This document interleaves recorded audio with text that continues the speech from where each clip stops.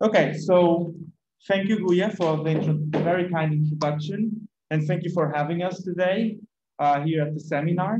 Uh, it's, it's first of all, it's really uh, a pleasure to have Pete around because we were just discussing that yesterday when you know we've been working together on this project for a while now. You know, it's been something that has occupied a bit of our time, but like in our, as I say, it's our hobby. Uh, but in many ways, I don't, we don't quite remember the last time we saw each other, um, you know, face to face. So it was good to bring Pete to Lisbon and to show him around as well. And um, so the work we're going to present here today is um, entitled Spreading Rebellion, an analysis of XR um, transnational diffusion. And, and as we'll see, it's a, work in which we try and we basically built a data set to uh, do a quantitative analysis of XR expansion since 2008 uh, around the world. And our argument, and these chapters, uh, this, as we'll see, we'll use the chapters as a proxy to that diffusion over time um, because it allows us to see not only the rhythm through and the time, the timing of the spread, but also the geographical location through which XR um, expanded and diffused. Um, this is, um, our argument is basically that the big jumps in XR um, diffusion have to do with their own action in terms of eventful protests right at the beginning of their creation, so to say, in 2018, 2019. And this is a work, uh, this is a paper that has been submitted to the journal Sociology. Uh, we added a few more things because meanwhile we collected a bit more data uh, um, that we'll kind of try to bring on to our to our um, to our presentation as well. And I was, and now we're still in the review and we're waiting for the answer, but also the feedback of the public. And thank you for being here interested in our work. Um, and we'll see, uh, and we'll talk a little bit about as well where we kind of see our this research going. So in terms of our outline for today, we'll start with a brief introduction to um, this work and where it comes from. Then we'll contextualize ex uh, Extinction Rebellion, do a literature review that uh, we use for this particular piece of work, then talk about what we understand as chapters, um, talk about the methods and the data sets that we created for this work, the findings, and then conclusions and future work. So I think, you know, um, I think it's it's always interesting to start with a more personal story about how uh, this work uh, how scientific work can start. And basically, Pete and I, we were in the same PhD cohort in Cambridge in 2014. So we did our PhDs together. So we had the same supervisor. And we're doing completely different topics. But throughout the PhD, we obviously we talked a lot and we met in uh, for coffee and, and, and, and, and various pubs around Cambridge. But also, um, at some point, Pete invited me me and Ben Abrams. I don't know if he's around, but in the in the audience, but he invited a invited the two of us to write a paper on the uses of flags in protests. The three of us wrote that paper that was never got published. In fact, we tried a few a few journals, but um, but actually that created the space for the book that Pete is editing and is coming out next year on symbolic objects with Ben but also created the space for later on uh, Pete inviting me to write a book chapter with him, which you can see here, uh, which is uh, the intersecting planes of crisis for uh, a book that is coming out with Amsterdam University Press next year. Um, and which we we started by wanting to analyze objects in various movements, but then we narrowed down to um, to Extinction Rebellion, and that how we kind of started to like be interested in Extinction Rebellion and focusing more and trying to understand what Extinction Rebellion was and where that would take us. Uh, and throughout almost um, you know, looking at the data and the, the resources around, we kind of understood, well, what would be really interesting to do would be to study the patterns of internationalization, transnational diffusion of Extinction Rebellion. Um, and that led us to this, um, the second, what we're presenting here today, which is um, a, an article that we had the collaboration also of Maria Valenstein, uh, who was uh, working with us over the summer um, to collect this data. And we're still expecting the, the, the response from um, the, the, the, journals, but uh, we look forward for your feedback as well. So Extinction Rebellion emerged, emerged in 2008 in the United Kingdom. Um, as many of you might know, um, and spread uh, all over the world in a way. A lot of the countries adopted uh, the name or the brand almost, as we say, of Extinction Rebellion. And in many ways, in a lot of the analysis that we've done, and in actually in the, the, the first chapter that we wrote, we could see that a lot of the repertoires that Extinction Rebellion used have some kind of connection with previous repertoires of civil disobedience and the environmental movement in the UK, although we don't make that you know, a big claim on that. Um, I think the turning point for a lot of these movements, not only Extinction Rebellion, but also Fridays for Future and the school strikes uh, that happened over uh, with Greta Thunberg and so on, um, was the IPCC report by uh, the United Nations um, scientific panel that published uh, in 2018 a report saying that we had 12 years to change the, um, the, the, um, the path in terms of carbon emission that we were taking. And Extinction Rebellion, um, who um, has a lot of scientists in, in, in, in rank, in their ranks, took this uh, to do, to build their frame and discourse around also a discourse of crisis and catastrophe, as we argue in the previous uh, chapter that we wrote. Um, and so David Bailey also wrote, so it, it doesn't only Extinction Rebellion doesn't only appear in the context of the IPCC report. Actually, David Bailey analyzed uh, protest event analysis of the last 40 years in the UK, and he actually shows that the last 10 years have, have been of increasing contention, and also that um, since 2017-18, there was an increase in the number of environmental protests. So uh, this is just to contextualize Extinction Rebellion and the work that we're doing. Um, there's as a, a lot of the movements that emerged recently, there's sparse but expanding work on it. We have that we've cited here in the PowerPoint, uh, you have repertoires of action and organization by Berglund and Schmidt, social composition and attitudes by Saunders, Doherty, and Hayes. Um, but also we have some work on internationalization, the topic that we're taking uh, forward, but mainly case studies of New Zealand and Canada. Um, so going to the literature know, review, you know, um, that we've done to frame this, this work, um, we set it up two topics, environmental movements, international diffusion, and eventful protests in the next slide. What we know in terms of transnationalization from the work of Jackie Smith, it's that since the 1970s, there's been an increasing transnationalization of social movements. She and her colleagues have built a data set of organizational um, of organizations that work transnationally. And she actually shows that from the, the 1970s until, the, until the last decade, the environmental social movements increased from 10%, uh, the environmental social movements, 10% uh, of the transnational social movements to 27.1, which makes it the second uh, highest higher, hiring rank cause after human rights.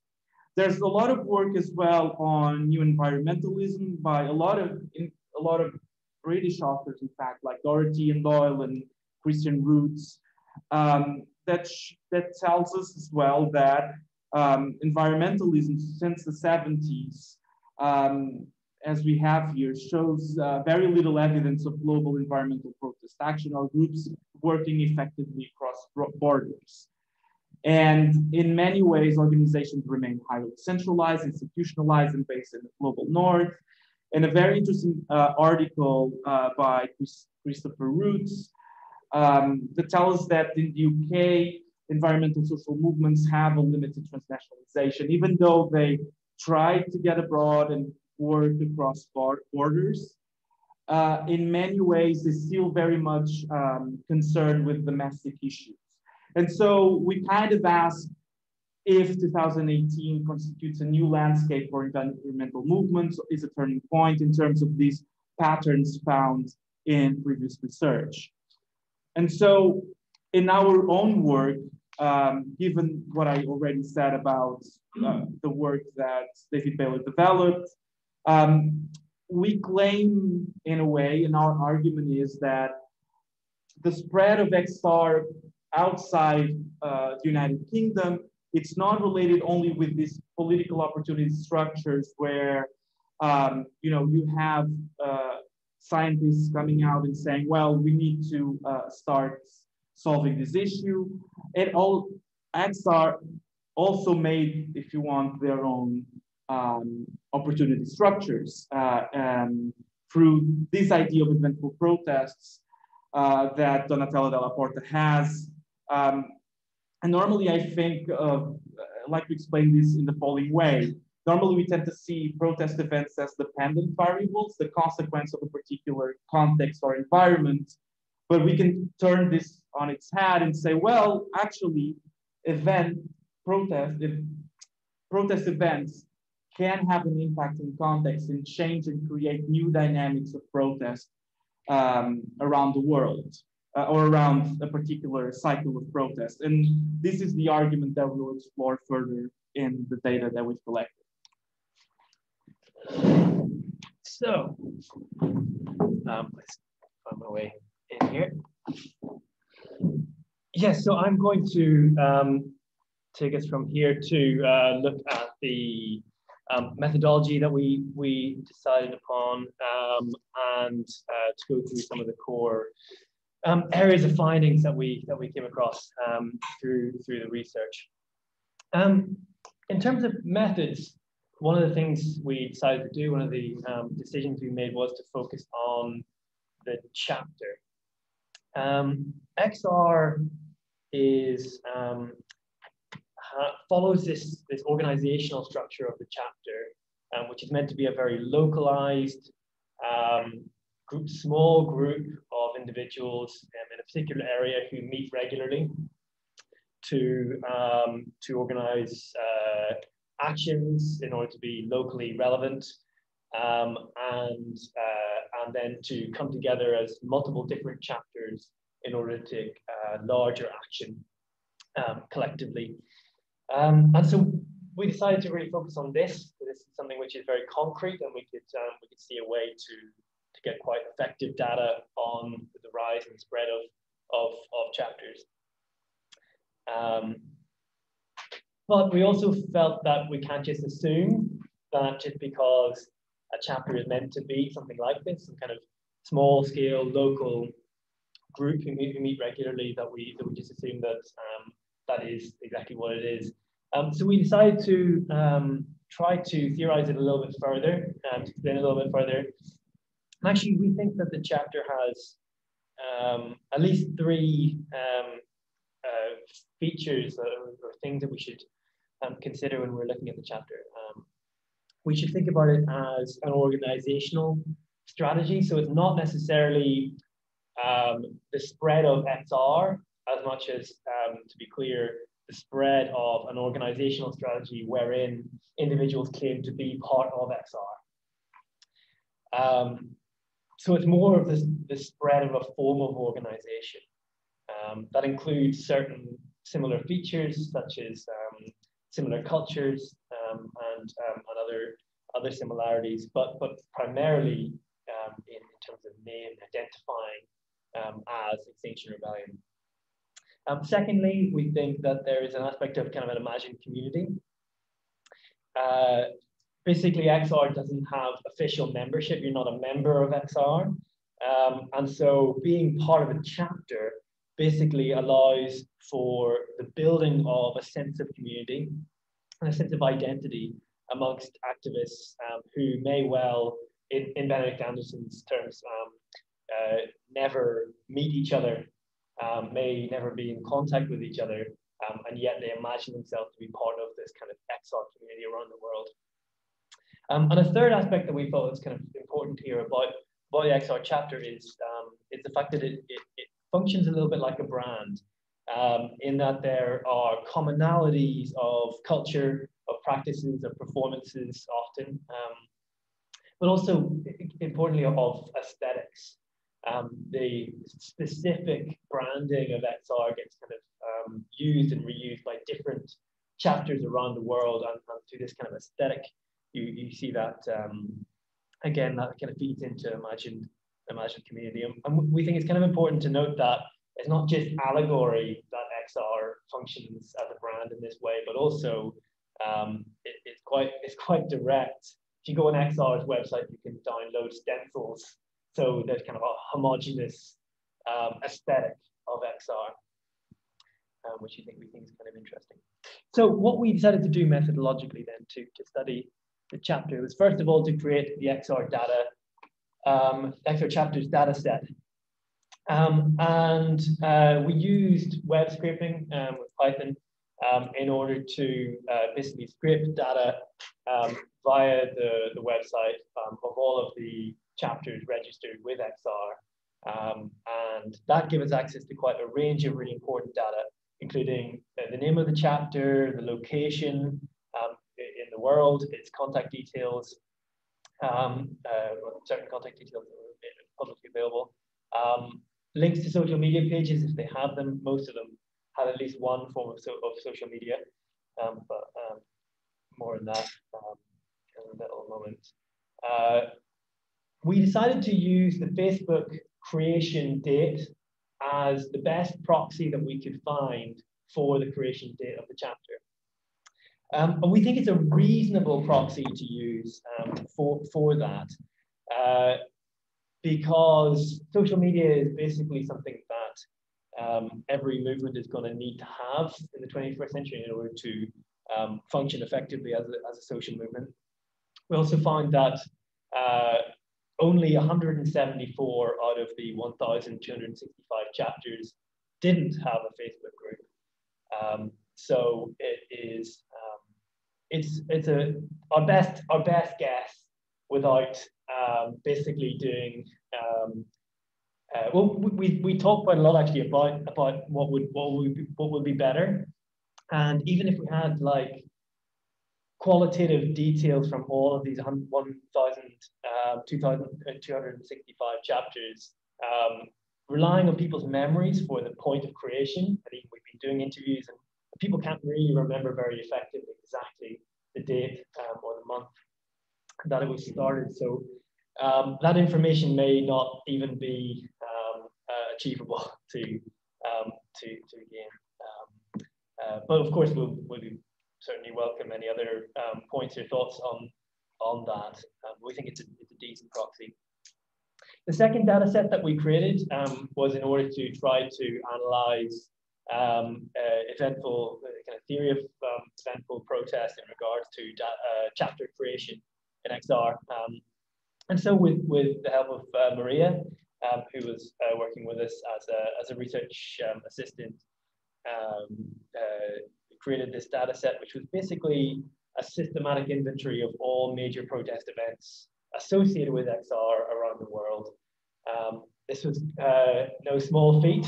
Um, and um, we're certainly very thankful to Maria for, for a lot of effort on that. Um, and uh, this then needed to be, uh, we needed to kind of work with that data and try and try to see what patterns we could see um, within that, try to make sense of, of a large number of, um, a very large number of relatively small protest actions um, and then some, some larger ones.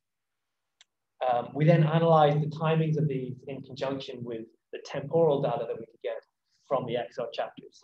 Um, so in terms of findings, there are three areas that we are um, we were kind of particularly interested in looking at, and that's the geographical dynamics, the temporal dynamics, and uh, then looking at the, the protest event data in relation to the geographical and temporal spread um, of XR. Um, it's pretty, it's pretty worth mentioning as well that um, re really our, our core aim um, in doing this at this point was just to be able to accurately describe what happened. How did um, this particular form of association with XR, a particular form of, X, of organization spread um, throughout the world? How did, how did that occur? So in terms of geographical data, um, geographical dynamics, um, as you zoom out on the XR's own, on XR's own website, uh, it bunches uh, the uh, chapters into numbers. So um, that's why you're seeing some, some bunches. You can see some very large bunches, um, North America, um, Europe, um, in Oceania. we'll go look at that in a little bit, a little bit more detail so this is kind of more of a, a, a fun representation, um, basically of this uh, of like um, of, of, where these chapters are based. Because um, um, there are obviously some some provinces, but it does tell us something. We analyze distance from distance from London as a way of kind of seeing how where, where the kind of distribution um, is. And we see 41% within 500 kilometers of, of London, um, another 17% in the next part over as we get out into kind of um, southern and eastern Europe, it becomes less. Um, and then beyond that, uh, very small indeed. Although we were laughing about this um, this out this outer rim um, with only 0.2 percent, that like that's that, is a lot of that is in Sahara and um, Siberia. So not a lot of people live there, which may also explain. And Greenland. Um, yeah, yeah, that's true. Um, so uh, it's more of kind of a, a, bit of a visual representation of the point rather than um, anything kind of particularly more than that. Um, but we see that also represented in the data here. So in terms of the number of XR chapters per continent, we see around 70% in Europe, and we see about 30% elsewhere. Um, and we see larger numbers in North America and in Oceania. By country, uh, we see uh, by far the largest number being in the UK. Um, beyond that, we then see um, a real uh, uh, prominence of, uh, of Europe, of Western Europe, um, and of the Anglosphere, um, UK, Australia, Canada, um, United States, New Zealand, um, Ireland. probably notable here in the kind of um, higher numbers is India with 20, um, obviously, India is a massive population, but, um, but another country with with a relatively large number of um, number of uh, of chapters. And so, yeah, we, we, we see from this basically uh, the idea that the XR chapter in terms of high density is particularly Anglo, um, Anglophone and particularly European. Uh, we then were able to transfer this onto this is kind of a map of the world according to according to XR, um, and we see some clusters around the world. We see kind of an Oceania cluster, we see a North American cluster, um, we see the European cluster, um, particularly high density um, as you get closer to London. Um, we also see these other clusters, an Indian cluster, a South African cluster, um, a cluster around Lake Victoria, and a cluster in, in West Africa. Um, and we also see a cluster basically around the band yeah, of South America between Montevideo and Santiago in Chile. So we see the, we see these clusters, but but there's also an important point here about about density. This isn't just a story of um, of uh, where people live in the world. Um, it's not just what you, human population density in certain scenarios, say in, in India, uh, uh, it's very often in kind of larger urban centers that we one, uh, one chapter. In some countries, there is only one um, per country. So uh, you can see in the West African cluster, um, there's uh, Senegal, there's um, Sierra Leone, uh, Gambia, Ghana, Burkina Faso, um, all having kind of one national chapter. Um, uh, Nigeria has, has a few more, but again, kind of usually kind of one per city, um, uh, and only a relatively small number overall. Um, so there is there is kind of a, a, difference in in how dense, how like uh, localized these are. Um, say if we take uh, uh, you know Australia for example, um, you look into one of the cities, one of the kind of major cities, um, and they might have maybe seven or eight chapters, um, localized even by like area of the city. Um, so much greater density, much kind of um, uh, much more localized uh, structure and form, form of the chapter.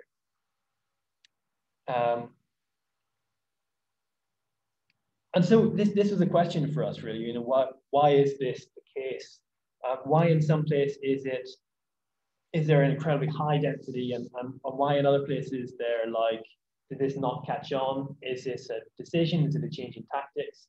Um, what is, or are there other causes? Like what's what's actually causing this? Um, and this is this is really a case for uh, some. This is something that we're going to continue to look into. Something we're interested interested in um, continuing with as we're as we're um, undertaking um, interview research in in a lot of uh, a lot of these countries. Um, and we want to try to find that answer, but it's not something we can really find from the data that we have, um, the, the, quantitative data that we have at the minute. But we wanted to give you a little bit of an insight at this point into what we um, what we found from that qualitative interview research. So here is a couple of um, a couple of insights, one from New Zealand and one from the Gambia. So in New Zealand, one of our interviewees said uh, um, what they did was an organizational nightmare they were advised to create their own group, but they were not just adequate, but they were not adequately linked to the national group. So for example, probably each of those, what set what 37, has their own Facebook page. I don't know of 37. I know of um, Whangarei, which is asleep, but we've got two people who, are, who keep connecting. Auckland Tam Tamaki Maka, Makarao, I'm sorry, my pronunciation of um, uh, New Zealand names is, is terrible. Um, Apologies, Tom, on the phone. Um, um, Hamilton is asleep. Uh, Tauranga is asleep. Taranaki is asleep. Um, a, a, name that we couldn't actually get from the transcription is asleep. Um, we tried hard. um, Palmerston North is asleep, or they have a little group that um, does things periodically. Uh, so let's go over to the east. Um, Hawke's Bay is asleep, down through Wairarapa. Um, they wake up whenever Wellington is doing something. Wellington is weak what they're building, I must say. Down in the South Island, I don't know how, how many we've got now. Um, Wairarapa, Nelson is weak. Um, they're there, but weak. Um, Christchurch is strong. Uh, Dunedin is strong. Invercargill is actually, for the size of the city, quite strong. And Queenstown is a presence. That's it. Um, and so, uh, so we can see actually where there was this really intense um, density of chapters in New Zealand that didn't last and actually caused quite a lot of problems. Um, and tons of these chapters just um, started to fail over time. Um, but there was also COVID meanwhile, right? So, that's that's true, yeah. Um, which caused a lot of uh, troubles in terms of organizations. Uh, yeah, that's, that's, definitely true. Yeah, that's that's for sure the case. Um, so here, here's a little insight from from the Gambia that we had so far, um, which is kind of the reverse case. Um, some interesting aspects here. Um, so our interviewee said, uh, it depends on people, um, on people that want to set up XR chapters in the communities in their region. Um, we're always telling people, if you want to start a new chapter, you can. Tell Extinction Rebellion through their website, um, and we've seen, seen people that are concerned by the crisis coming up, starting new chapters. I would say probably in Australia or other Western countries, they are more aware of Extinction Rebellion because of their media, plus access to internet and digital devices. You should be able to know how many of us are struggling with such in Africa. So yeah, this is also something that is part of the reason why people are not aware of XR in this region. And, it also, and also it depends on people that think the movement can become, adopt, become an adopted movement in their own culture. We've seen people saying XR is a truly white movement because of their tactics in the global north. So I guess that's also a, feel, a fear that people are having, like people of culture of color, that the fear that they're having, which is holding them back. So I want basically in Africa, what we're trying to we're trying to say is that we need to adopt XR or adapt XR to our own culture. Um, so here we see various reasons why uh, we didn't see the same density of chapter creation in West Africa, um, in the Gambia. Um, uh, another really interesting point that, that was raised by this interview was the, um, the issue that they came across in the African context of, of, call, of people trying to, of people calling themselves rebels. Because referring to yourself as a rebel in many contexts um, in Africa has, has very negative connotations of being part very dangerous groups. Um, and so uh, deciding to deciding to call yourself um, a rebel, that's again maybe um, something that we can see as like um, part of kind of European and, and kind of white culture meaning one thing, but in other contexts means something really quite different. And was that has been a kind of stumbling block of a problem for the for the movement in Gambia. Um, but we thought that would be interesting just to give a bit of insight, kind of qualitative insight, what we're finding so far. So on to temporal dynamics, and this is a graph of um, XR chapter creation over time within the UK only. Um, so in February uh, 2017, we see the, the, creation of Rising Up in Bristol, which was the movement that then went on to become XR. So um, for the for, for the first uh, year um, and a half, um, that's uh, there was kind of one one chapter. Um, Rising Up then spread to one other place in the UK before both of them changed to XR, and uh, and the movement became XR. When it when it when it began. Temporally, we can see um, the Declaration of Rebellion um, in, uh, in 2018 um, as a kind of key moment there, um, after which um, there's incredibly fast expansion. We thought it was interesting as well to add in uh, here, uh, this is the point when COVID-19 lockdown begins in the UK. and although the movement was reducing, the, the number of chapters was increasing at a decreasing rate, um, we really see it flatlining um, there uh, from um, from spring 2020 um, onwards and haven't really recovered. Um, although there was a question for us about whether uh, kind of a certain threshold, a certain capacity was being reached in the UK anyway by that by that point. Looking at the data temporally, ignoring everything else but just the black line for now, um, this is all chapters around the world over time. Um, and this is just the sheer number that, are, that it has been created each individual month. Um, so we can see certain spikes. We see we see a spike in kind of um, uh, in uh, uh, winter uh, 2018. We see another in kind of um, late spring, early summer in 20, 2018. Um, and we can you can see the other um, peaks as we go along. And we saw from that, um, we started to see the kind of a, a pattern in the temporal data um, where there are basically these, these particular phases um, in the creation of, of chapters. And we organized it basically around, around those peaks.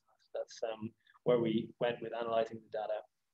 So you can see these five phases, um, these five phases here um, on the graph.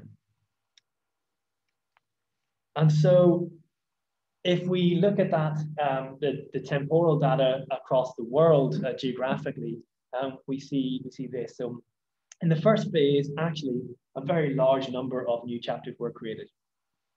Um, in the second phase, um, quite a number more. Um, and uh, we can see that continuing on up to um, the most recent uh, recent creations of, of chapters in Nepal and in Thailand, kind of quite quite quite recently. Actually, they both came um, after, since we since we um, initially did this, um, did the data analysis, we added that in um, subsequently. It was in the kind of late summer um, and into autumn uh, 2021. Um, so there are still new create new chapters being created within different different states. But what's interesting, we think here is, is it isn't the case that that XR's chapters spread um, to the UK and within the UK initially, and then subsequently spread to other places in the world. But actually, it's in phase one, um, we actually see um, dramatic increases in the number of chapters around the world. Um, it spread to a, a, large number of chapters already at that point. Um, so uh, this, this uh, um, graph tells us a little bit more about uh, new chapters being um, created. Initially, we've got on the, the kind of green bars is uh, new chapters per phase. That's the number of new chapters per phase. Um, and then we also have a cumulative um, figure. We can see uh, in um, the, the, the, the, the length of time for each phase is not the same. Um, so for example, phase four is actually a bit longer than phase um, three. So even though it's roughly, it's not that far off, actually in a longer time period. And the final phase, phase five is a, is a very long um, period of time. Um, and so we see a relative, a very, very kind of small number of new, um, new chapters being created over that phase. And so, um, um, this, uh, this graph basically uh, tells us about uh, the percentage of chapters being created in different parts of the world um, per phase. Um, so in the first phase, we see the UK as being the place where most chapters are being created, but at the same time, we see, um, we see many being created in the rest of Europe. Um, we see uh, North America and Oceania as, as having a large number as well, um, and, and also in other places um, around the world outside of those. Um, gradually over time, the percentage of new chapters being created per phase um, kind of starts to expand a bit out. Um, we see uh, by summer, the summer 2019 phase, phase three, um, uh, Europe actually overtakes the UK in terms of the, the, the numbers, the percentage of chapters created. Um, uh, and then by the end, um, through the over the pandemic, actually the number of um, uh, European chapters being created is, kind of by far the largest percentage, although there is a, a relatively small number um, uh, in that in that period. Um, we then have, uh, because this is kind of, it's potentially a little bit confusing because it's a percentage of chapters per phase. Um, we thought it'd be useful to, to basically explain the, um, the new chapters by re region and phase um, cumulatively. Um, so you can see this over time. And again, what we're seeing fairly clearly is um, over time, the creation of a, of, of a very clearly Anglo, uh, Anglophone um, and European dominated um, sphere um, uh, with, uh, with XR chapters being highly um, localized activist centers in, in these spaces um, and more uh, in terms of kind of single national. Um, so we see the popping up of new, um, new nations around the world, uh, new national chapters around the world, but, uh, but not expanding beyond that, as we can see over time as well. So finally, to, to go on to protest events um, and the spread of XR and the kind of relationship between, between those, um, essentially we, we can see in the data two key protest events which had the greatest effect over time on the creation of chapters. And those two events are the Declaration of Protest, uh, De Declaration of Rebellion in um, October 2018 and the Spring 2019 International Rebellion. And after these two events, um, we saw uh, like uh, basically massive increases in the number of chapters being created, um, and also um, uh, with the international rebellion, also the the, um, the internationalization, the further internationalization of the movement to a considerable degree. Um, and actually, this was something we we felt we saw in the data, um, something we felt we could interpret from the data.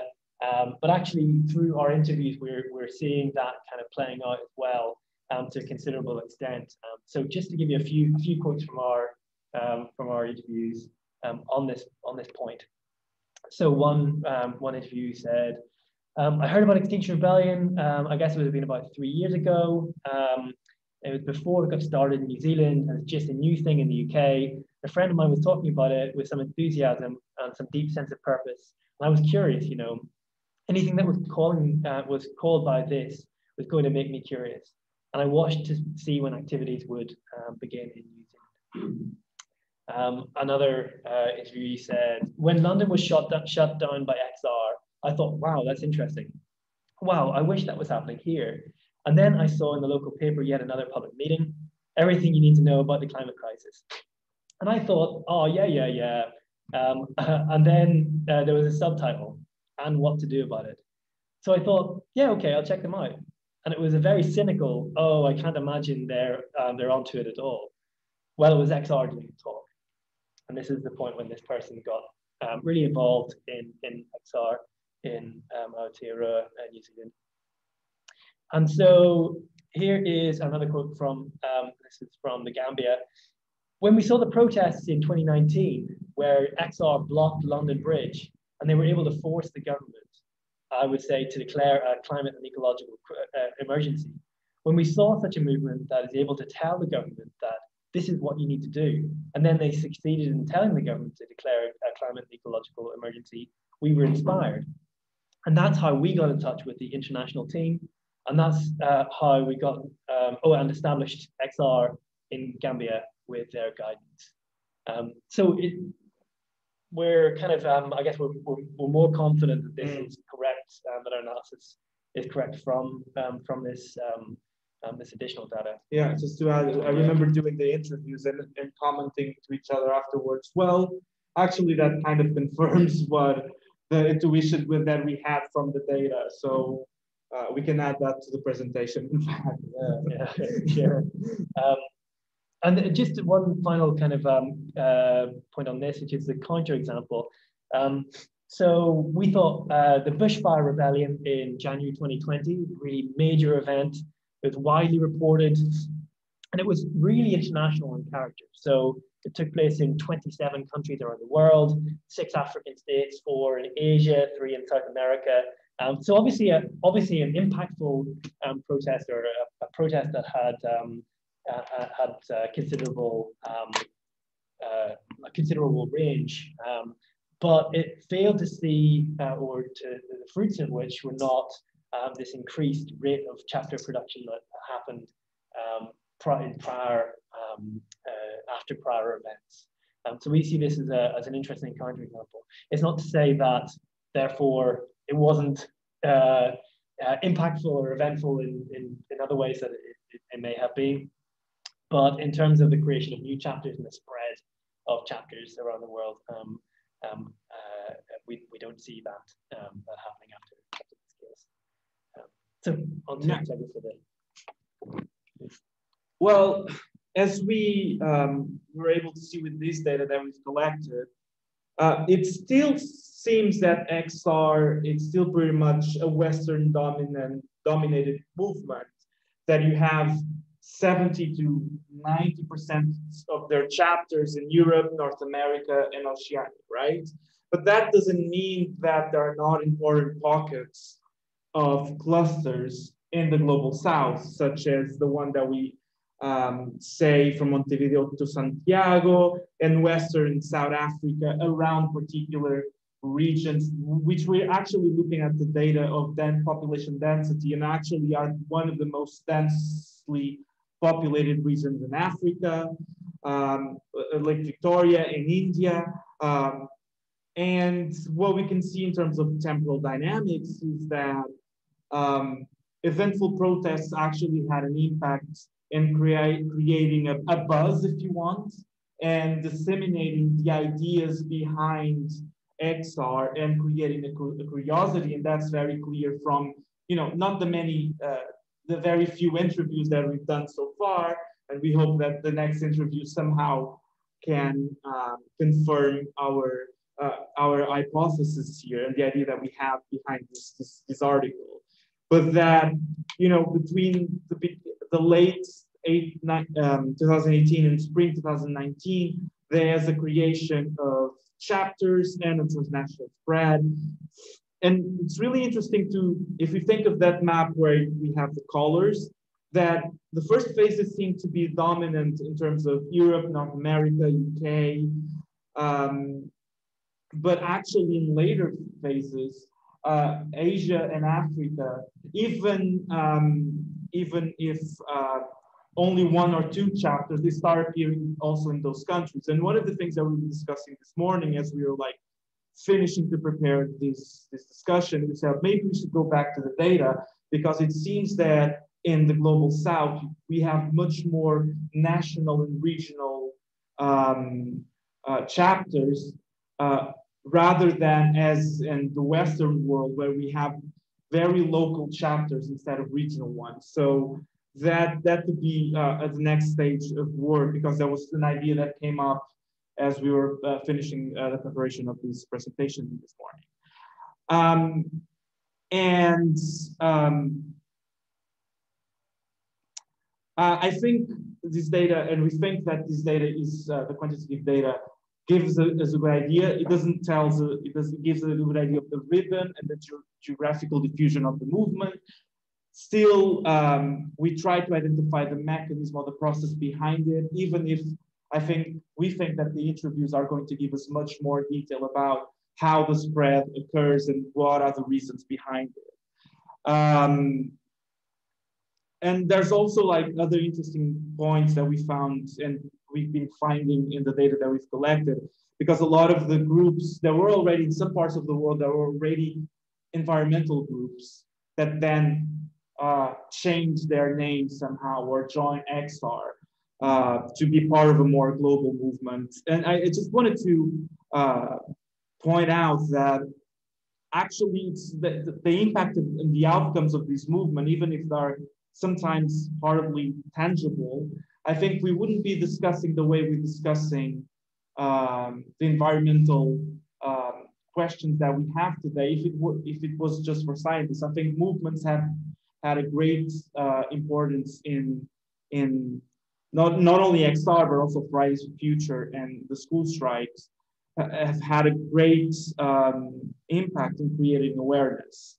Um, so in terms of future work, and actually we'd like your input on this as well, um, we've, as um, uh, the Talking Heads song say, we've been making this as we go along. Um, and actually, you know, as we find new data and we, we try to get new ideas uh, and as we say, we do this as almost a hobby that we do in our free time, this project.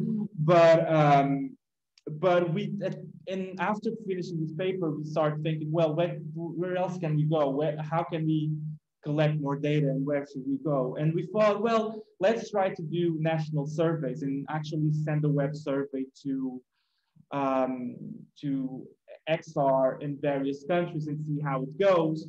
But with the rate of response was so um, diminuted that we thought, okay, we probably need to switch strategy and focus on interviews. And I think that has been a much more effective strategy, so to say. So I think the next steps are actually to continue doing these interviews and do case studies of countries, but also of clusters of thinking, what are the connections between, for instance, Australia and New Zealand? Are there any similarities between these two countries? Or Canada and the US, the US? So, but also to try to think of the north-south dynamics between these groups. We'll keep doing, uh, we have a few more ideas about also doing some sort of online ethnography where we visit the, the social media pages and try to understand a bit more the actions of chapters around the world. But also we found that they have newsletter and documents that we can consult and check what they've been doing. And in February, we're going to do an event with a lot of uh, people from XR. We hope we still have to think about what this event is going to be, but to try to meet with uh, activists in the international community and to see what they would tell us about these their strategies. And that's it. And thank you for being present, being here. Thank you.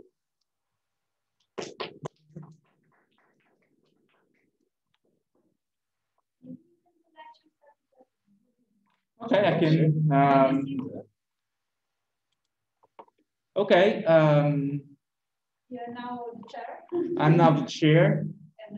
Uh, I'll have we have questions here already written, but uh, we maybe we can um, also uh, collect more a few more questions as we. No, no, no, no. It's uh, oh well. We have a lot of actually have a lot of a lot of questions from here. Um, just to answer Miriam, yes, the, the recording will be available afterwards. Uh, well, Tobias had to leave. Um, so maybe we can start answering some of these questions yeah, here in the chat. Um, well, Jill asks, do you find patterns of low creation of chapters associated with the increase of protest events has stagnation of chapter creation can have different interpretations would be also nice to have a focus on subnational diffusion, at least in the UK. Yeah, that's uh, interesting. Maybe Jill can also come up. Uh, I don't know if he's still around. I don't know if Jill, you want to come up and talk to us as well?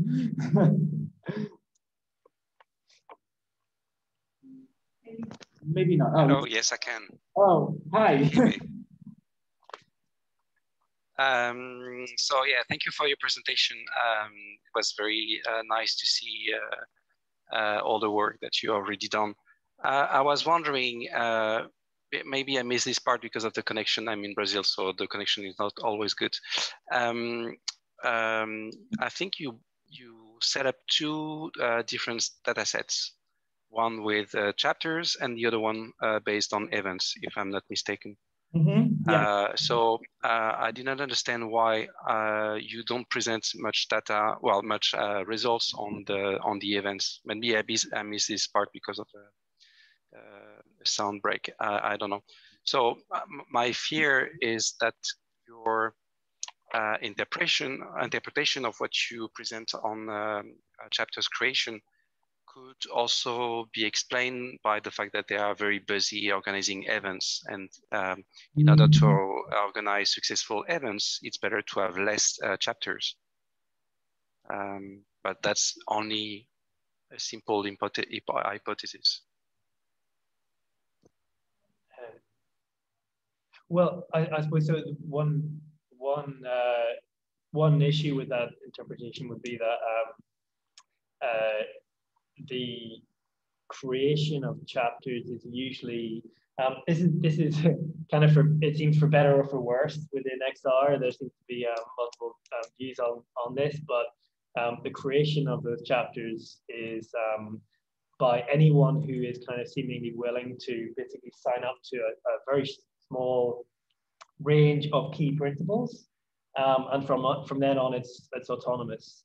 Um, so in New Zealand, it seemed like uh, there was an issue with that, um, in that some of these chapters were created by people who were not experienced in organizing or being part of social movements, but were kind of new um, to social movements. Um, and so they created it, but there was no kind of orga organizational strategy beyond that. Um, so actually, the, the, it's not it's not the case that um, that anyone at a kind of national or international level, level appears to be particularly like setting these things up as much as people kind of come forward and, and, and suggest that they should be um, a, a chapter. And so, and so the, the, the two things are quite, they run quite separately, quite, quite differently, and different sets of people who are kind of setting up chapters, um, others who are kind of busy organizing events.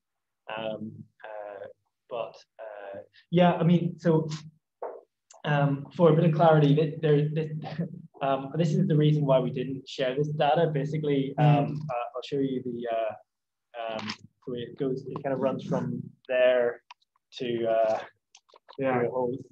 second and uh, third page. Um, so we, we, couldn't find a, a, good way to basically present that um, effectively. And, and, the PowerPoint. We, we, you're right. We, we, we should we need to try and work on how we can how we can present that in a way which is um, which is more straightforward. Um, but basically, what it what it boiled down to was like um, uh, uh, seeing where these um, these various events fell um, and looking at kind of uh, rates of uh, both temp temporally and geographically what kind of effect was going on, um, and we just we weren't able to see um, it's quite that that data, as you can imagine, there's quite a lot of uh, there's quite a lot going on there. But what we were able to see clearly was um, these two um, specific protest events as having having very clear effect in terms of um, uh, create the creation of chapters. Um, but we weren't able to see um, anything beyond that. It becomes very difficult to make um, definitive uh, claims about that. I mean, it may be the case actually that like um, especially when we get more qualitative data, we might be able to find something on that, like uh, like a particular protest um, is kind of referenced by a lot of different people. That's like actually it was, it was this. It took us a little bit of time to get organized, but actually it was this particular protest. We're we're definitely open to to that occurring. This is what we can see anyway from that. Um, I hope that, that, that answers your question um, sufficiently. Um, it, as, as insufficient as it might be. okay. Um, can we thank you, Joel. Uh, Miriam, very insightful. Uh, do you want to join us, Miriam? Still there? Hi, uh, I'm not sure if you can hear me. Yeah, yeah, we can. Excellent. Hi, uh, very nice to meet you. Uh, show my face if you can see it. Doesn't matter. Uh, hi, I am um, very thankful for your study of the XR movement. Uh, and I was considering, I, I, had questions about the ethical considerations around such a study. I saw that you focused more on quantitative analysis, uh, which withdraws some of those uh, concerns. And I again that you were open to more ethnographic work, uh, which makes complete sense. Uh, I guess this is a, a, a, you're in for the long haul. Uh, but I'm in my work with other movements uh, about the transnationalization, um, social justice quests.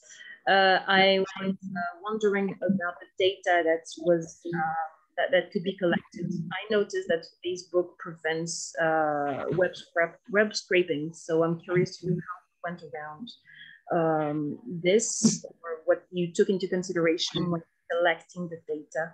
Uh, you quickly went through it, but I was wondering if you could uh, go into a detail about it. And second, if there were any specifics related to the, to the XR movement, since I know that this is quite, uh, I mean, all the activists I've met from XR are quite um, cautious about the, the, the trail of information they leave online on Facebook um, and so on, compared to other uh, similar movements, uh, even transnational movements, not just uh, subnational and local movements. So that's it. Uh, thank you very much. Um, okay, I can go yeah. for the first one, maybe. Yeah, well, um, we, um, yeah, that's true. I mean, Facebook I mean, it's you, you have. I mean, I don't know if I could. Uh, well, Facebook, you can scrape the data, but you have to use some tricks, basically. uh, and since it's not for commercial use, we were um, um, we were careful to um, check that, and I discussed that. I don't know if João will help us to write and to collect the data around, but um, we checked that and since it's not for commercial use, we could do it actually. It's no different from doing it by hand, right? So yeah, um, they were they were blocking the um, the uh, IP, is that how you call it, uh, a few times, and we had to go over that. But since, like as I said, since it's not for commercial uses, I don't think we'll have any troubles on that. Uh, okay, uh, uh, do you face um, yeah, unethical uh, ethical issues. Yeah. Um, this is this is something that actually we um, we took a very long time over. Um, uh, uh, in terms of in terms of interviews and data collection, um, like the qualitative data collection, um, we're kind of very we're very aware of that, and so uh, we have a, a variety of things in place um, kind of usual um, requirements in terms of consent, um, in terms of like being clear about the information, how it's going to be used, um, anonymity, all of those kinds of things. Um, obviously, that's incredibly important.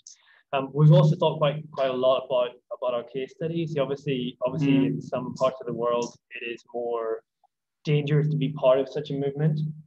We actually initially said that we would do data collection in one particular state, which which I won't, I won't name, um, but uh, decided against it. Even though we actually we did it so carefully that we got we got ethical approval to collect data there, we decided subsequently against doing doing that um, for for that reason.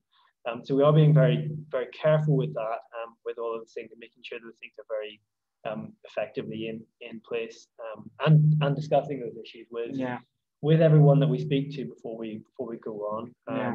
Uh, so that and, and that will be something we, we're very kind of very keen on being careful with going going forward.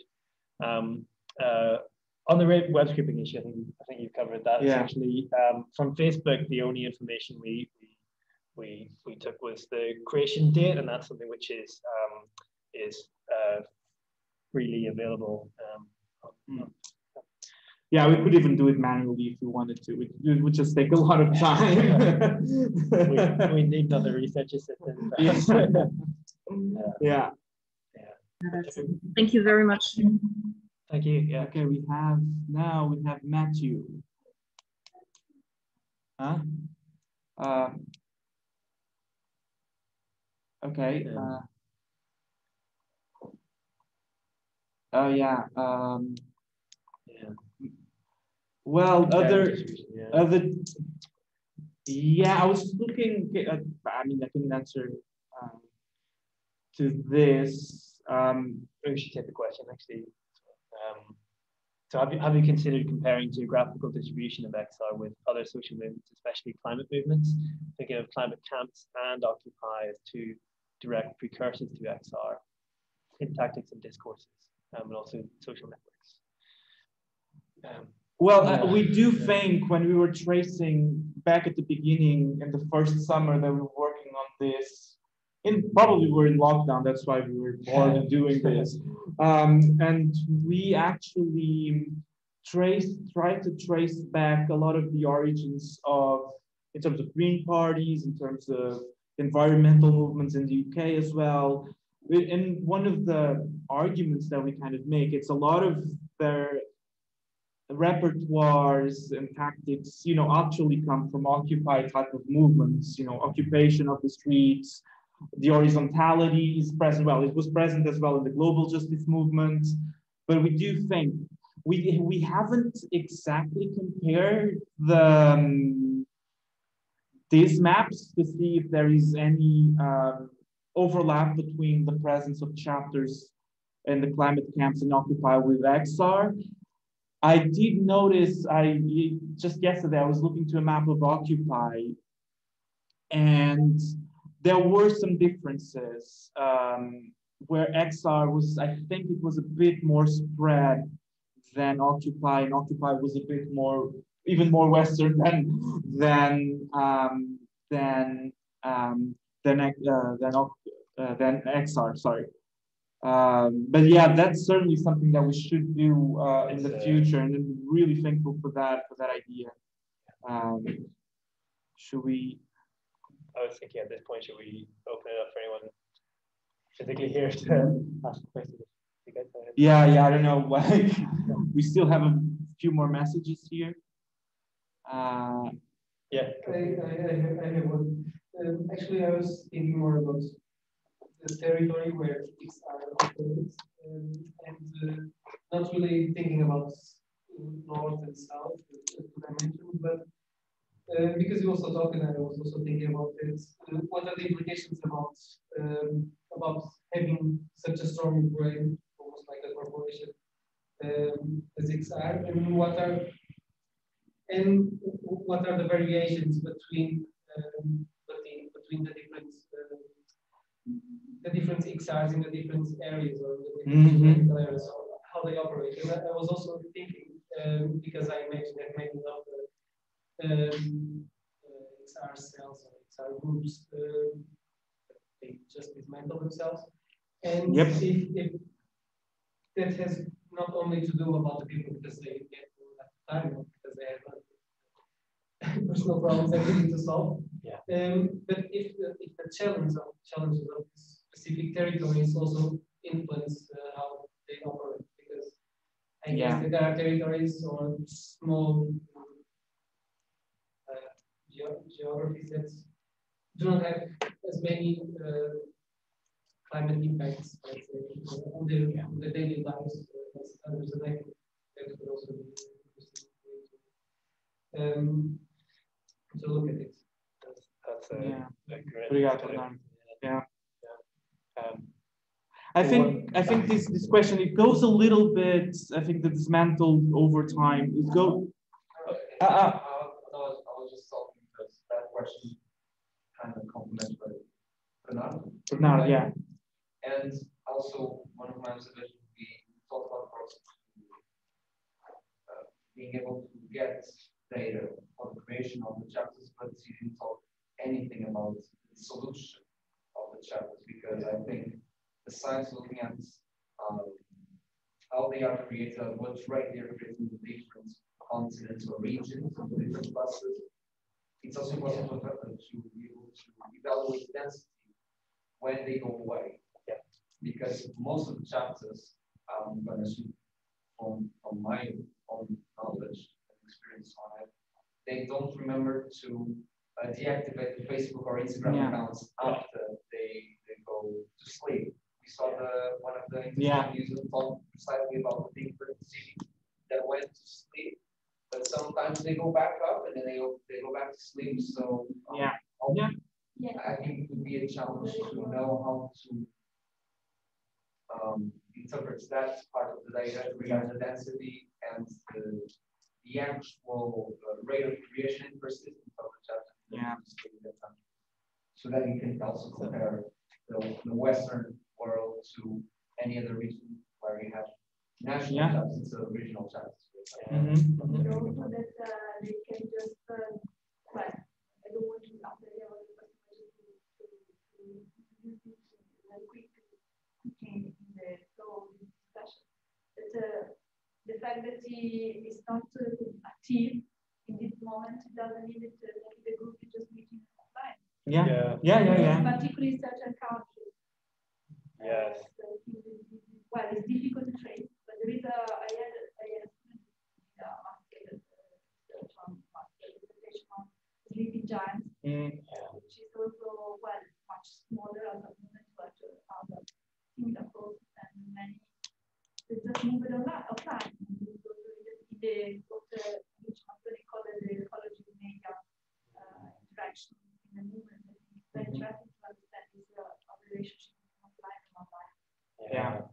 They're all really fantastic points. What about question? Will we take all those at the same time or is there? May- yeah, I think so. Let's try. So I think, mean, that's, that's all, all fantastic points. Dissolution of chapters is something we couldn't really capture in this We- data.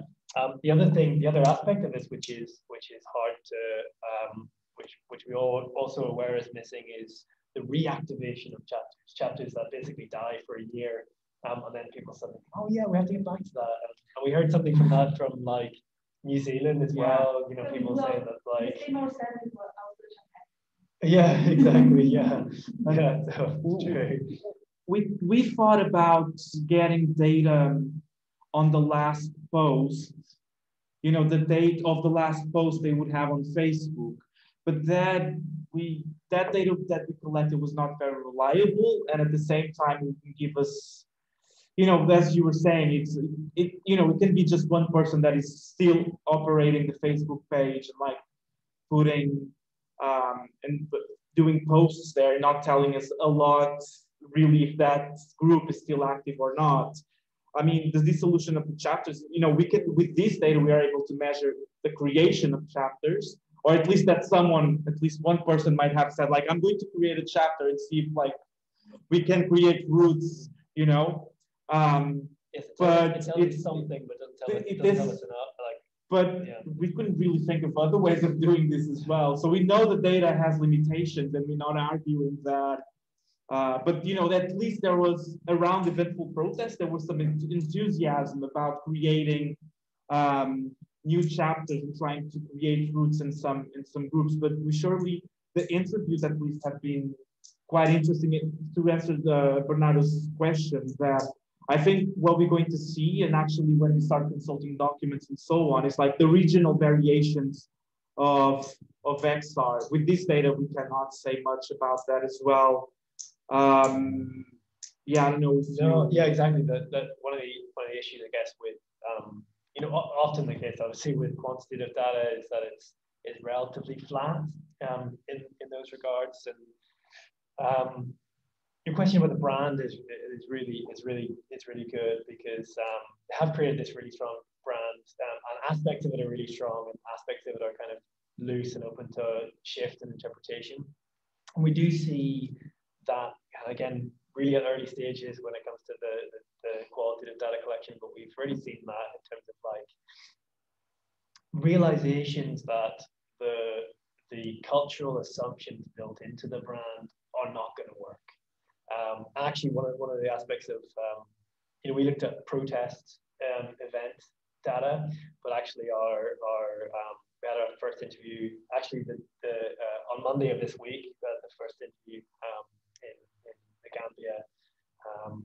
And, uh, and, uh, and, that individual was telling us that like basically because of a variety of cultural and political and economic um, features of the Gambia, um, strikes work better in terms of getting people on, on board, in terms of trying to reach um, the public positively. Um, and they're also very aware that, uh, say, the Gambia, it, one meter rise of the sea level um, would uh, deluge 8% of the country's landmass um, which would massively affect agriculture. The country would heavily depend on agriculture. At the same time, uh, the country emits very, very little CO2 um, and doesn't have a huge amount of financial capacity to do anything other, uh, you know, about, about the nature of the situation. It's a very, very different scenario to, um, say, protests in, in Canada or, or US, um, uh, Australia, um, so you know very very different very different scenarios so it has it's had to adjust. Um, uh, the aesthetic the aesthetic of xr is kind of fairly consistent um, but uh, we do see this is this is something for another another project but we do see kind of um, attempts to vary it especially linguistically um, uh, you know, putting in trans translating things into other languages um, but often with uh, some of their core aesthetic um, qualities maintained. Um, and yeah. then, and then sometimes my impression is that they might become other movements. They might create spin-offs out of XR because they start the activity, and that's something that we might want to explore. Um, I mean, in Portugal, there's like XR, and then there's Climáximo. I don't know what exactly the relation between them is. My impression is that they appear more or less at the same time so there's, there might be a connection between the two of them.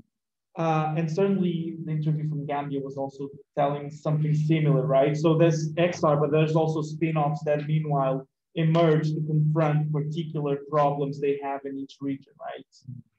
Um, yeah, even even uh, and that doesn't seem to be a feature there as well. even we're seeing like um, it, it seems almost XR is so strong as a brand. It takes out um, the interest of building something local.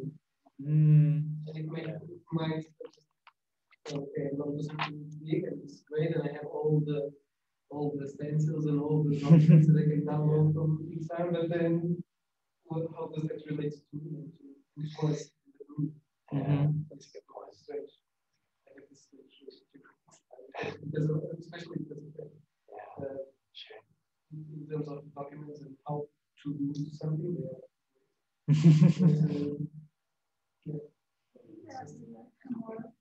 yeah, we have Alejandro um, Ciordia.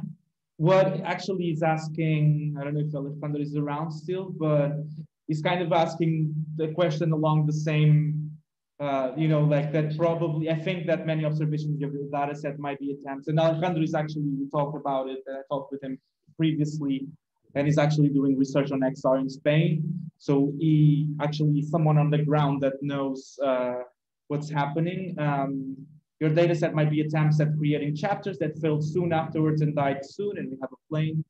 Um, died soon after its creation without having organized much collective action.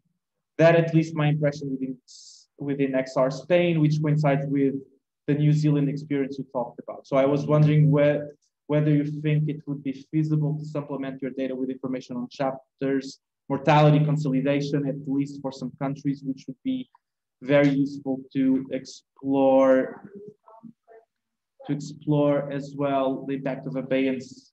Yeah, I mean, that's what we talked about. And I think we need to think of measures actually, if we want to see the rate of survival in a way to what happened with XR. And Tom is asking, I don't know if Tom is still around, if he wants to come. The number of small chapters in ANZ. I mean, it's a towards consultation, centralization over time. Hi, Tom. Hi. Yeah, I'm still here. I'm actually on leave, so you can't actually see me. Um, yeah, I just I remember having a chat with Pete, um, and Pete mentioned XR Waihi. I think I laughed out loud. Um, because it is a it's a very small former gold mining town. And from what we talked about, Pete, how there was a, a couple of people that you said were quite influential, and in the quote they talked about what was happening in uh, Dunedin, Invercargill, Wellington. So they clearly had a an idea of what was happening around the country. So that question of if these um, defunct chapters almost serve as a kind of advertising. So there's a, a group, or there was a group in Waihi, but it tends to be, it may evolve, so it tends to be people at the top, people that have the experience are able to draw on those connections in other places. I just kind of throwing that out there as I was mulling it over. Yeah, Mm. that's a that's a really good point. Um, Yeah. And I think that might we might be able to measure that or see some of that trend with the interviews, maybe. yeah, yeah. Um, it seems at least from from the data we have already um, that uh, um, that a lot of these a, a lot of uh, the, the the kind of death of chapters came with very inexperienced but excited um, uh, younger people who wanted to get involved in the in activism actually was kind of very it was the it was the chapters that were established and maintained by kind of older activists who had been in the game Yeah. for a long time who were able to um, put in place the organizational requirements you need um, to, to do this kind of thing that's an important point. um, uh, it- it's quite a funny moment in in our interview where um, where our interviewee said a lot of these guys, you know, joined because they thought the revolution was coming. You know, the revolution was going to come tomorrow, and so they they created a, a chapter to become part of that. You know. Um, uh, and then when the revolution didn't come um, the next day, um, they were kind of disappointed and disbanded. Um, so there does seem to be um, you know that dimension of kind of experience um, Yeah. yeah. Which is not, I mean, thinking about it, other movements that I've studied is not only a, a, a feature of movements of this particular movement, is something that happens with, uh, and normally movements that tend to persist, it's when they have very experienced people uh, working on, on that. Um, so yeah, uh, and this is a good, I mean, again, this is like uh, the question that Tom is asking about tendency to consolidation, central- centralization over time. It's, it would be really interesting to measure that if we have the dissolution kind of measures, you know, and to see the rate of activities in Facebook and so on. But still, we need to probably think about that again. and like how, because think of like indicators that we can collect online as well for this amount of chapters to see if, um, because I think that could be something that we could measure as well with the number, I don't know, maybe the number of people that joined the group on Facebook and so on and so forth. I don't know, could be, um, could be uh, interesting as well. Yeah, we're kind of aware that, that this is why we put in place we did this and then we went on to qualitative um, we're kind of aware that to do this to do this fully we'd have to sort of talk to every chapter who's willing to talk to us in the world um, that's not necessarily an achievable aim but at least we're we aim to oh, we can have 50 years. uh, well, I suppose, I suppose. Um, Well, at least we, we aim to uh, aim to try and get as much of that from qualitative Yeah. data as possible because because um, there just are, are a lot of limitations to the quantitative. But um, from what from what we think we from what we covered today anyway, it's it's up to the limits of what we we felt we could achieve with with this data. Um, um, but yeah, if there's any other questions or comments on it, I appreciate it. But Julia? I told you there was a question by Decio Taylor before. Bye. Ah. I think Desi was just telling, existe o microfone. Ah, já okay. te- Oh, right. But, well, it's not about the. I asked some, I asked some question, but I think more or less they were all Covered. Yeah. But, uh, Uh, yeah, one point, but thank you very much for the presentation. Uh, and particularly, it's very difficult because it's an ongoing, uh, process. So, I'm talking that these things go in, in development, it's very difficult. It's not completely considered movement,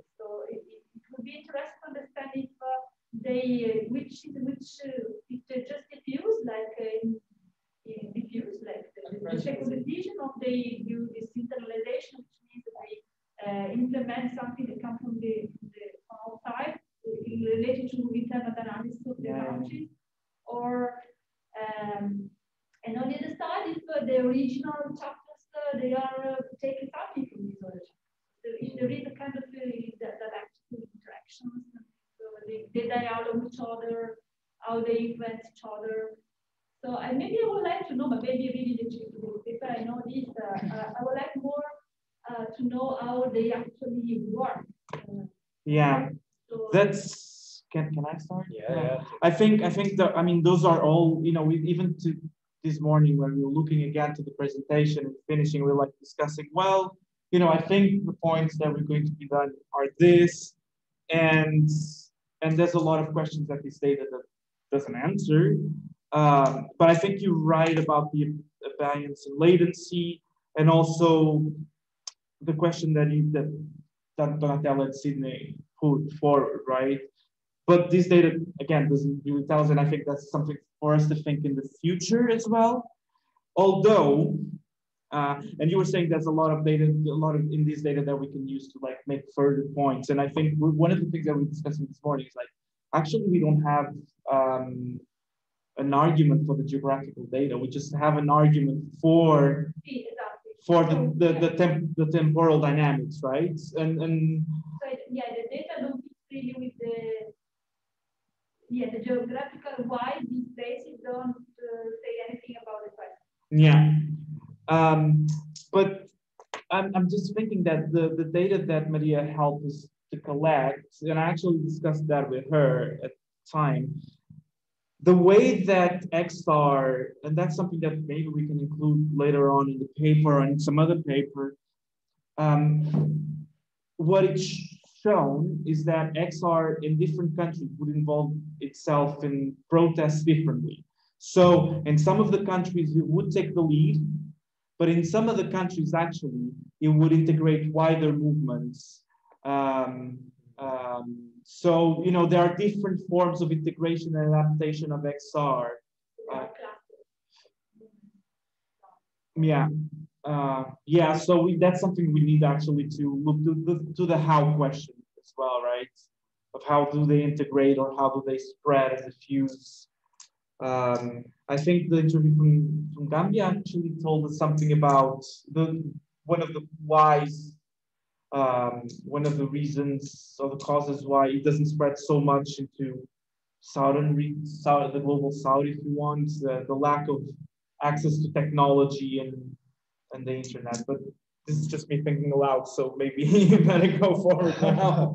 Um, no i think i think actually that's, that's very very clearly yeah we're kind of we're aware with the descriptive description of the, the, the geographical spread we are just describing it and our conclusion from that is basically that it's um, in terms of density it was it was just um, Anglosphere and, and Western Europe where that where that occurred. And so our our our kind of our description is what we were aiming for there but I, I think you're right. It's like there is certainly a need to account for that. Yeah it's, it's a really of it's a moment that uh, it is new in itself so Mm. that is really normal that you to first uh, Overview. map and uh, but there are many directions. And another point I think is very, very important about the digital technology uh, and the digital perspective. Maybe, the work by Rich Mattoni and other people that are doing, following digital activism, etc. I think it's very important to understand that the digital is just a part of ecology Yeah. of activity. And Yeah. So, um, yeah I think it's uh, particularly in the interviews, it's very important to understand to which extent, to, to what extent the digital is the main uh, part of what people do, because the, the risk is that you over, in, over give too much relevance Yeah. to something that uh, yeah uh, needs to be needs to be placed in an ecology of different tools uh, that uh, humans use. yeah that's great This may be an interview. yeah uh, And maybe you can see a reference to this is what we're doing now. So we see reference in the, the digital, uh, we see reference to something that's happening in the mainstream media, something that is happening in the street. So mm-hmm. sorry, just uh, No, no, but that's- that's, that's- I, that's I a think it's very fascinating work. So I just see you as a lot of comments and questions. yeah No, I mean that that's something like we always that's you know as I say it's a hobby because we have so many other things to do that we try to like go in like no, so what's the next step, right? And like sometimes it's also like okay, the interviews will do, but like we could be doing so much more, right?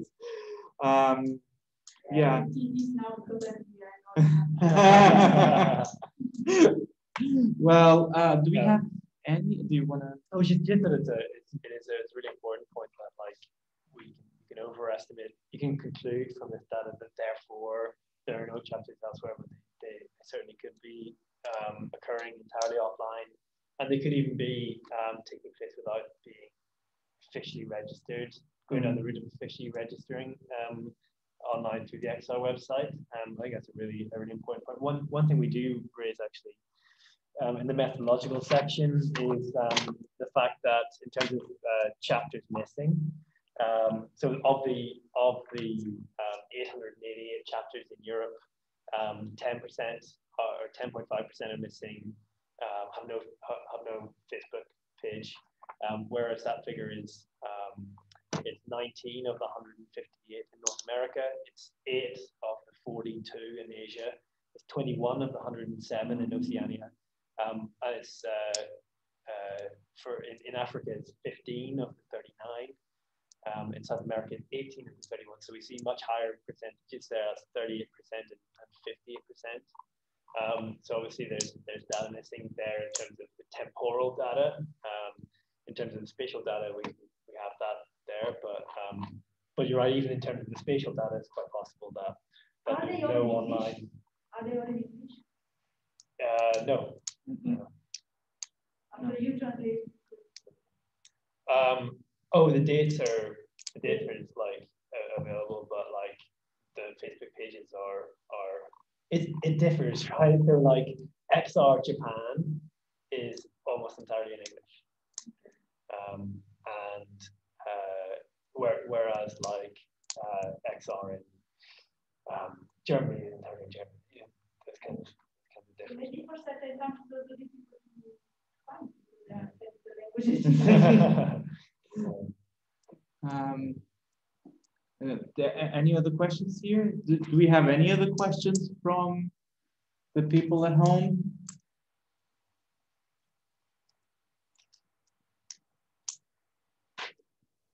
Well, Yes.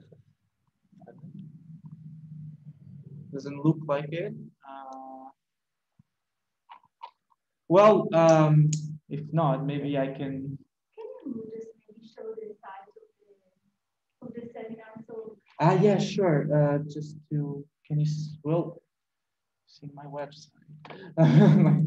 Can you, Yeah, because the, the seminar will be all, uh, we have uh, many seminars, most of them they are, um, they are uh, online. So if you can share the, yeah, for those at home, uh, let me just show you the page. Uh, um, This one, and maybe in English, no? Uh. Yeah, and you can find all the, you know, the past activities since 2014 when Guya and Britta Baumgarten started um, started uh, this seminar that's been ongoing. It's been very important for the social movement scholars here in Portugal. Uh, I think it's the third time that I present actually. I think I presented a couple of times already. And I also I'm joined the coordination team. And they, they are online. And so this this last year we've been we've done a lot of online events, which are available if you go to like to the page, you can see the YouTube videos. But also we've been trying to do the effort now that we can meet and uh, there's no lockdowns, uh, despite the, some of the restrictions. We've also been trying to record the sessions because you know they are actually uh, it's actually interesting to keep them, to remember them. For us, it's going to be amazing because we can go back to the many of the comments that we had, but also, um, you know, to study in, in classes and in lectures and so on, and to keep a register. So we've been trying to keep this a hybrid, also to reach out to other uh, people that are not in Lisbon, uh, and so we can connect with those people as well. So yeah, uh, and so we can you can find all the information. Share it with the staff. Ah, yeah, I'll share.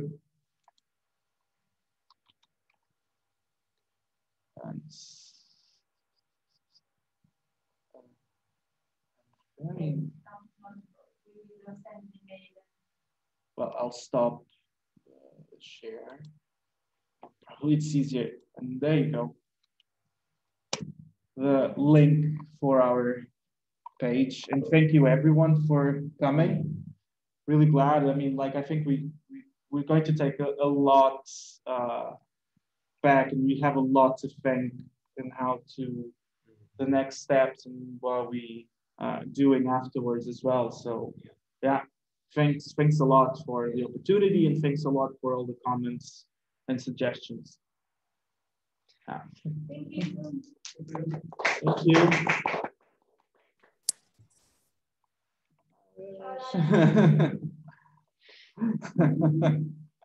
Okay i'll stop it now can i stop? See die